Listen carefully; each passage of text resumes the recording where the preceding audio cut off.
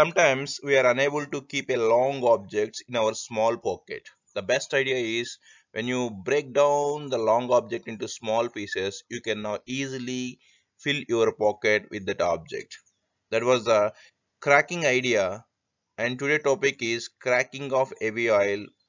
In this we are going to discuss about fixed bed and moved bed catalytic cracking process. Hi guys, this is Dr. GSR. Welcome to my channel and you can watch all my previous videos regarding fuels, electrochemistry, corrosion, water technology and many basic concepts of chemistry in my channel. The corresponding links was provided in the description.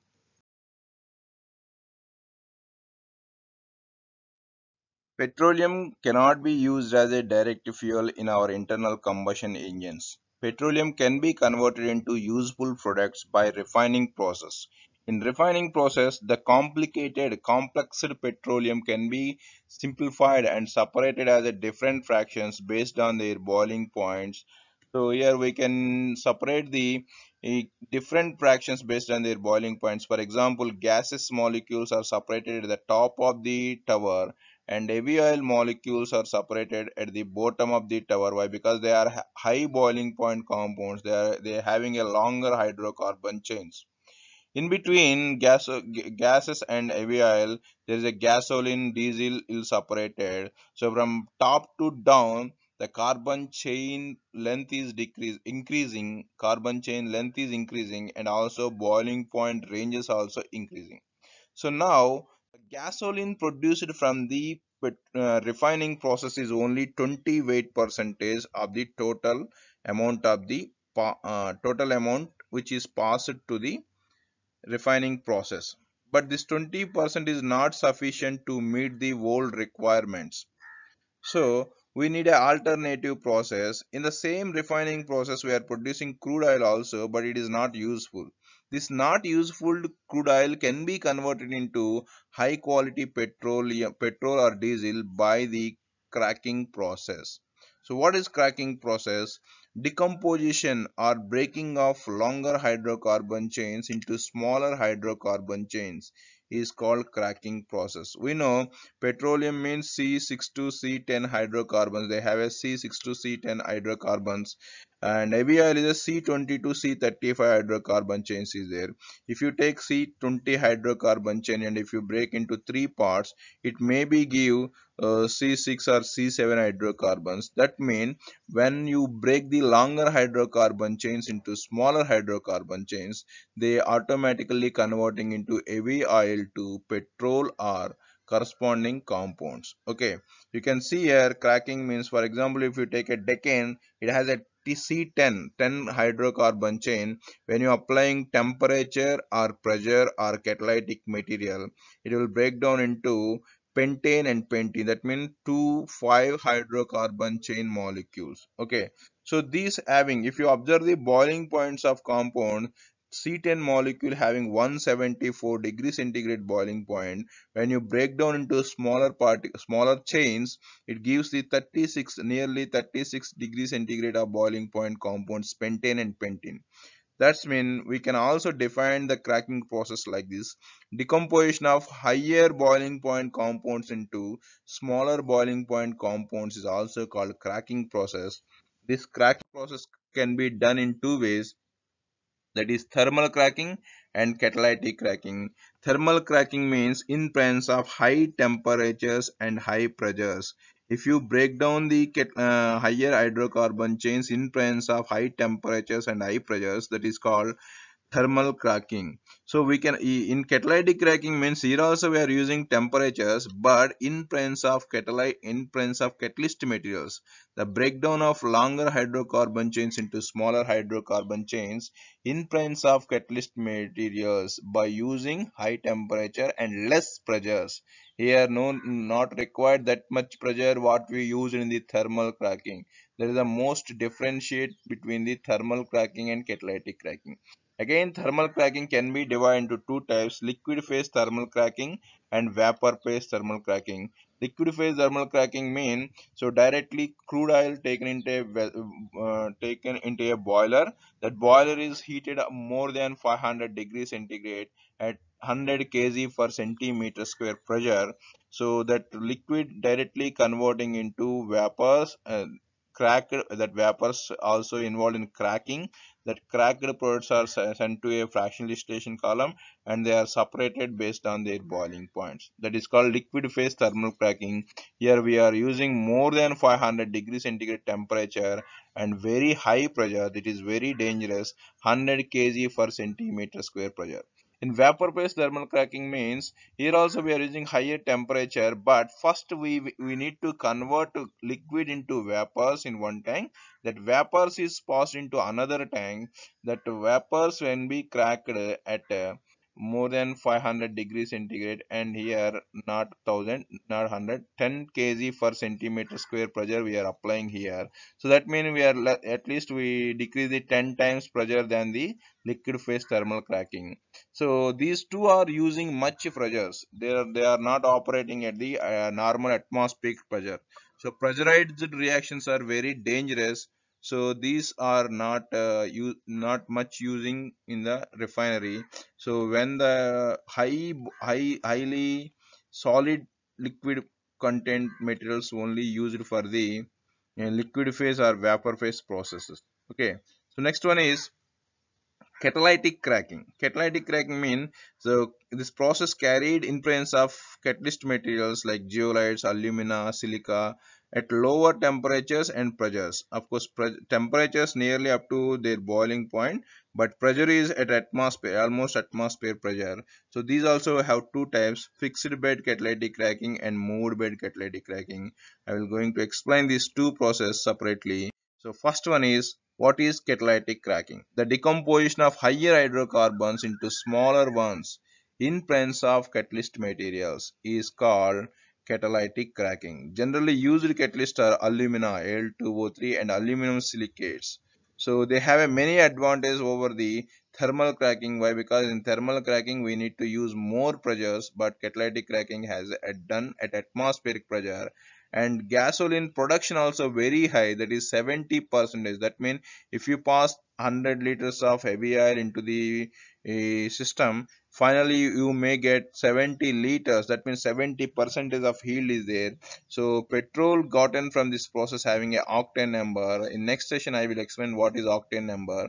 If octane number is high the quality of petrol also is high.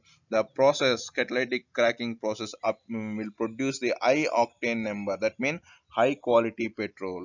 So first one is fixed bed catalytic cracking the name itself telling here catalyst metals are fixed at one place. That's why it is called fixed bed catalytic cracking. Very simple process.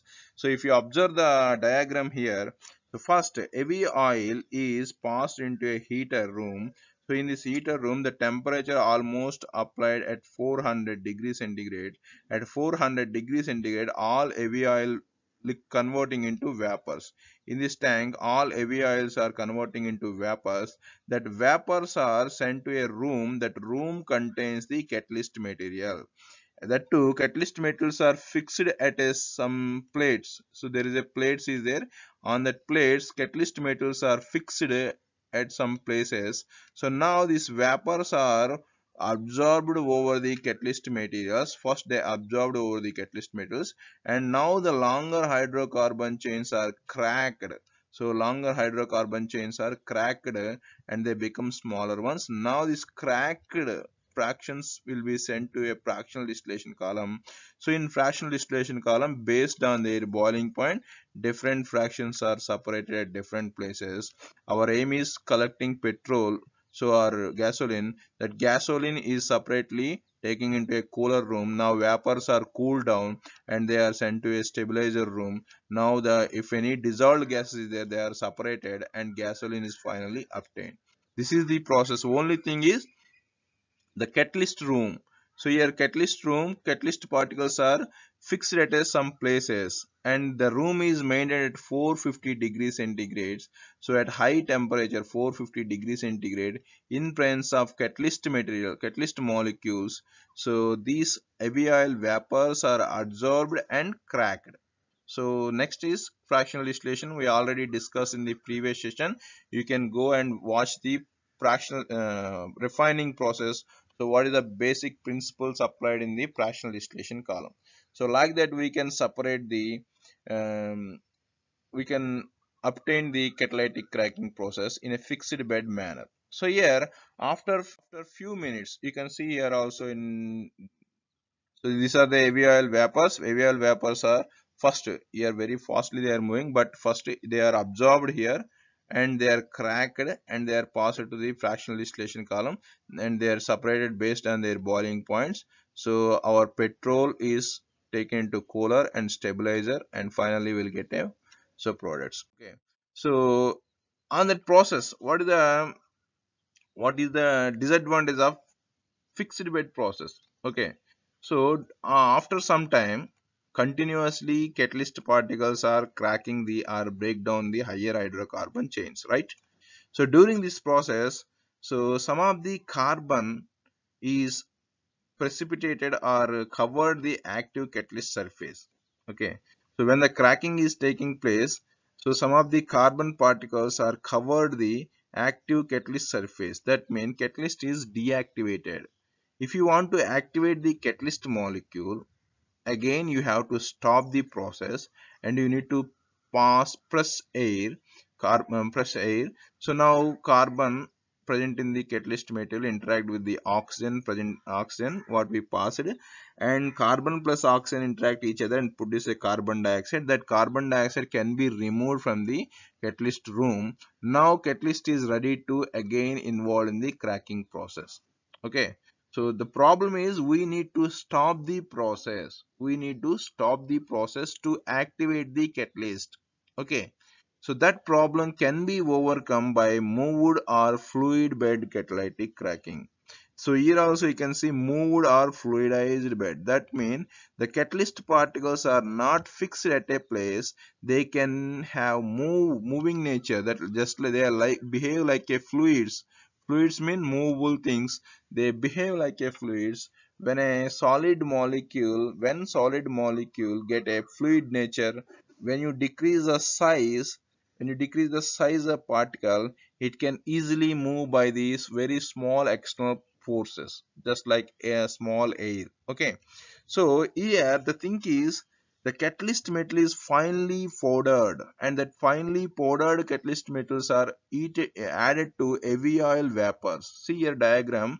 Here heavy oil is heated in a heater room just like a fixed bed catalytic process. The same same thing here. So we are converting heavy oils into vapors. Okay.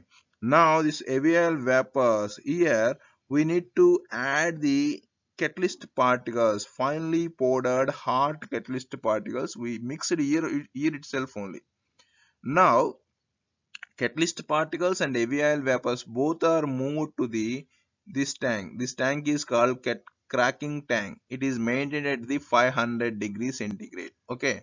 So now at cracking tank so just like uh, fixed bed catalytic cracking, they are absorbed on the catalyst particles and they are cracked. That cracked molecules are separated by the fractional distillation column and our petrol or gasoline is separated by the cooler. That cooler they are cooled down and they are stabilizer and finally we get a gasoline. This is the same process just like fixed bed. But the thing is here also after some time this is the our catalyst particle so this is the our catalyst particle. If it is involved in the cracking process after some time it is also involved it is also covered by the carbon. Why? Because it is also involved in cracking. That's why the ca carbon layers is oh, uh, absorbed on the active catalyst now because of size increasing they are slowly come down. They are slowly come down and they are collected at the bottom at the air uh, bottom side. Now by using air blast now we are using air blast this deactivated catalyst particles are sent to the another room. This is called activating room. This is room is maintained at 600 degrees centigrade. So now what is there in the active room? So there is a deactivated catalyst deactivated catalyst so and also we up we pass the air by using air blast. So here we are passing air from the air blast.